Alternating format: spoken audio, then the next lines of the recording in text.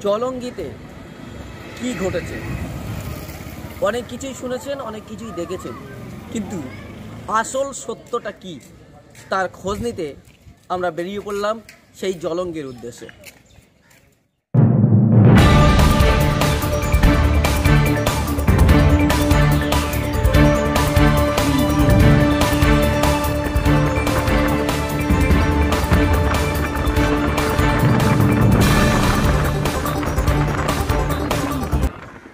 আমরা কলকাতা থেকে এসে পৌঁছালাম জলঙ্গির সাহেবনগরে।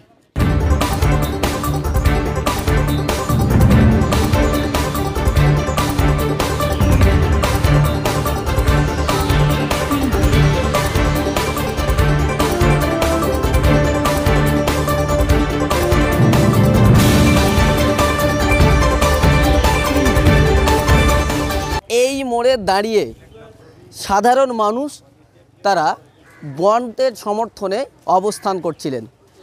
All India Muslim personal law বোর্ডের সর্বভারতীয় যে বন ছিল, সেই বনকে সমর্থন জানিয়েই সাহেবনগরের বাসিন্দারা, এলাকার শান্তিপ্রিয় মানুষরা, তারা বনকে সমর্থন করে একটা প্রতীকী বন্ধ হিসাবে সকালবেলায় এই রাস্তার মোড়েই এখানেই কিন্তু অবস্থান বিক্ষোভ করে। ঠিক সেই মুহূর্তে দাঁড়িয়ে এলাকার মানুষরা দাবি যে তৃণমূলের ব্লক সভাপতি নেতৃত্বে একদল তৃণমূল আশ্রিত দুষ্কৃতীরা আসে এবং তারা এসে এখানে আপনারা দেখতেই পাচ্ছেন, এই যে ক্যামেরা রয়েছে পোস্টারের রাস্তার তিন মাথার মোড়ে, সেই ক্যামেরাকে গুলি করে, ফায়ারিং করে কিন্তু সেই ক্যামেরাগুলোকে ভেঙে দেয়। তারপরেই কিন্তু এখানে একজন স্কুলের প্রধান শিক্ষককে, প্রাইমারি স্কুলের প্রধান শিক্ষককে মারধর করা হয়। ঠিক সেই মুহূর্তে তৃণমূল আশ্রিত যে দুষ্কৃতীরা এসছিলেন, তাদেরকে তাড়া করতে গ্রামের মানুষরা ছুটি আসে।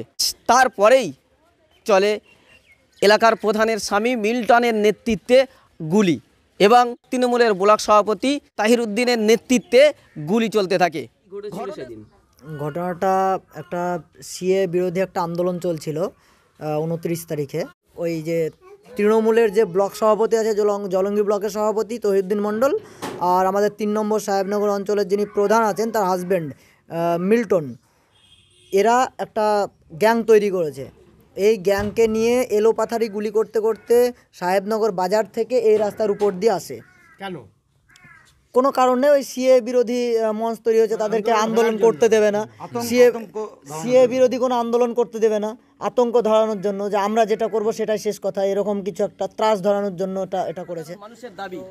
এখানে প্রশ্ন, যেখানে মুখ্যমন্ত্রী নিজেই এনআরসি এবং সিএ আইনের বিরুদ্ধে আন্দোলন করছেন, সেখানে সেই এনআরসি সিএ আইনের বিরুদ্ধে যখন সাধারণ মানুষ বন অবরোধ করছেন, তখন তাদের উপরে তৃণমূলের আশ্রিত দুষ্কৃতীরা গুলি চালাচ্ছে। তাহলে কি মুখ্যমন্ত্রী যে এনআরসির বিরুদ্ধে আন্দোলন করছেন, সেটা নাটক মিথ্যাবাজি নাকি অন্য কিছু? ওরা অবস্থান করছিল এনআরসির বিরুদ্ধে লড়াই করছিল। এবং এনআরসির বিরুদ্ধে যে লড়াই করছিল, সেটা কিন্তু নন পলিটিক্যালি সমস্ত রাজনৈতিক দলের, এমনকি তৃণমূলের সমর্থকরাও এখানে ছিল। সাধারণ মানুষের পক্ষ থেকে এরা করছিল। আর এই নাগরিক মঞ্চটা অনেকদিন থেকে আছে।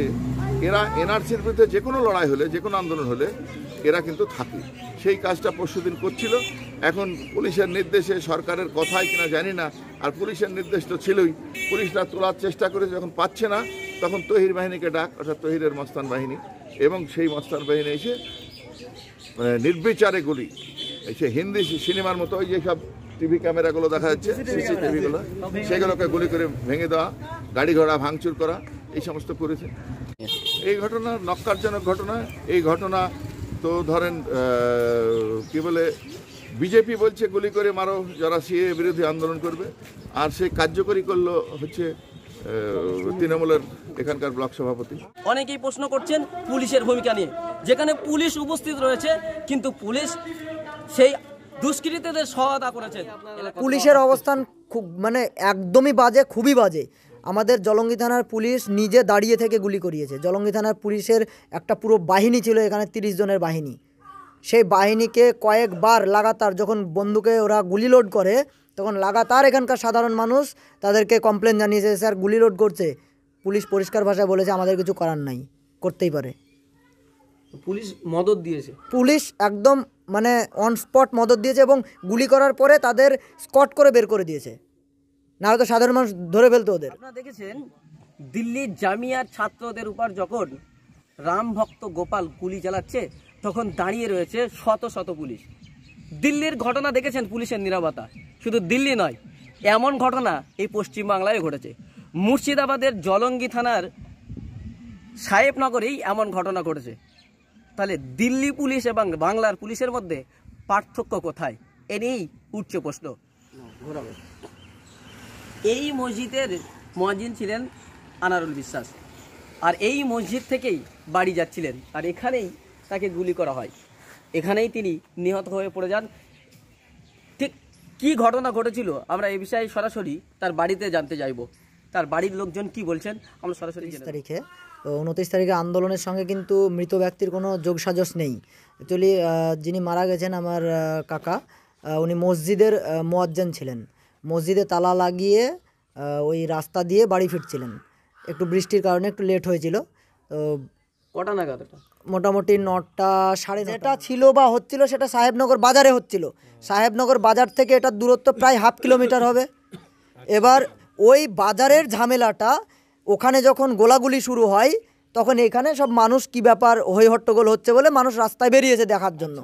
সেই জিনিসটা এখানে যেই বেরিয়েছে দু দশজন এখানে এসেছে। এবার ওরা ভেবেছে এরাও মনে হয় আমাদেরকে ঘেরার জন্য এসেছে। তখন এলো পাথারি গুলি করতে। থাকে। রাস্তায় গাড়িতেই গুলি করতে করতে যাচ্ছিল। ধীরে ধীরে।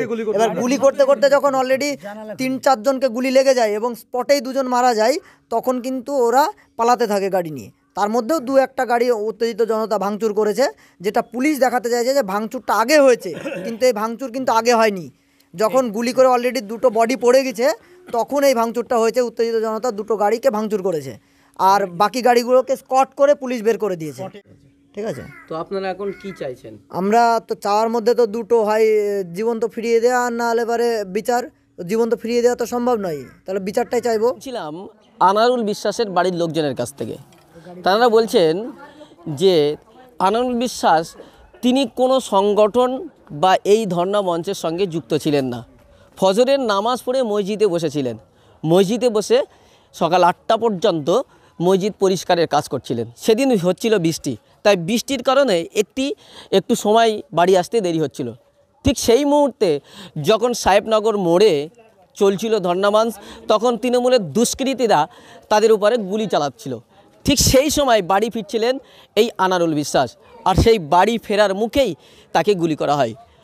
দেশের কিছু প্রথম সারির মিডিয়ারা তার প্রচার করছে যে আনারুল বিশ্বাস নাকি মিম পার্টির সঙ্গে যুক্ত আসলেই এই কথাটা সম্পূর্ণ ভুয়ো এবং মিথ্যা এমনটি অভিযোগ করেছেন আনারুল বিশ্বাসের বাড়ির লোকজন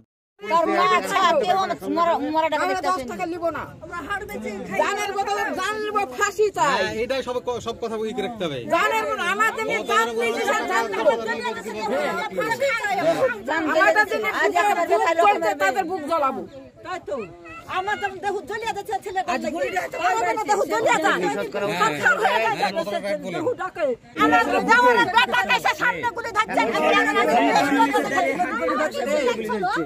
আপনারা কি চান আপনারা কি চান ফাঁসি চাই আমরা ফাঁসি চাই আমরা ফাঁসি চাই তাহলে আপনারা এখন চাইছেন যারা আপনার ছেলেকে খুন করবে তাদের ফাঁসি?